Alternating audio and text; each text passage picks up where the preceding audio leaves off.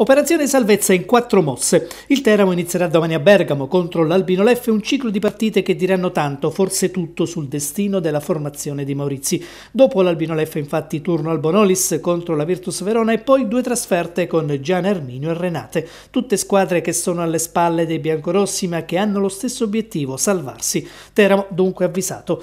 Per la salvezza diretta bisognerà strappare quanti più punti possibili, a cominciare domani da Bergamo. Mirko Spighi la vede così. Ma io credo che abbiamo quattro partite importanti difficili perché poi dopo analizziamo, eh, giochiamo una in casa e tre in trasferta e se guardiamo l'andata abbiamo fatto i pochi punti in queste quattro partite, adesso non mi ricordo, penso solo due. due.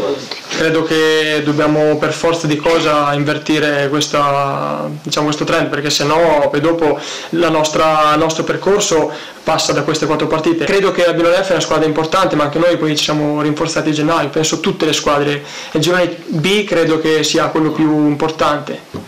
Maurizi ha una certezza, il rientro di Caidi in difesa dopo la squalifica, ma ha il dubbio del sistema di gioco. Nel corso dell'ultimo allenamento infatti ha provato un Teramo versione 3-5-1-1 con De Grazia alle spalle di Infantino, unica punta. Potrebbe essere l'alternativa al consueto 3-5-2, in questo caso con Sparacello in tandem con Infantino. Per il resto difesa 3 con Fiordaliso, Caidi, Polak, centrocampo con Ventola e Celli sulle fasce, in mezzo Spighi, Proietti e Spinozzi e poi, come detto, la versione con il trequartista oppure a due due punte.